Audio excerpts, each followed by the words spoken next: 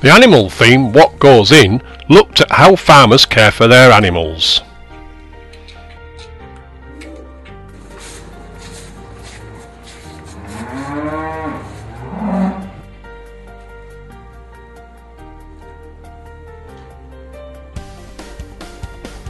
and how these animals produce lots of poo.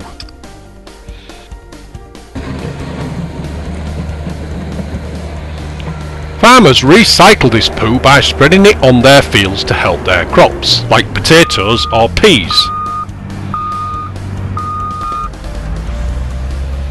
Why do farmers do this?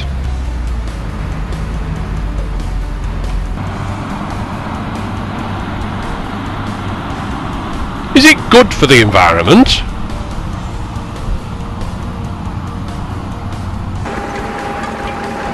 And how does it help their crops?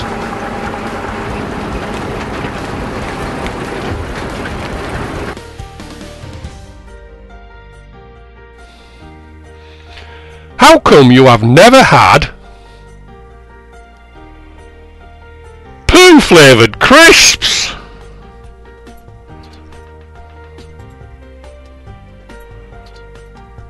Or brown peas?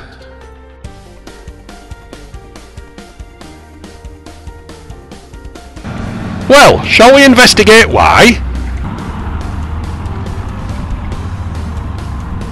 To do this we need to find out two things. What happens to the poo that is spread on the land? And how this poo helps crops?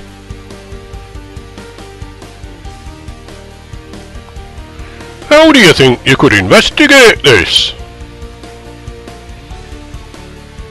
And what questions would you ask me about poo?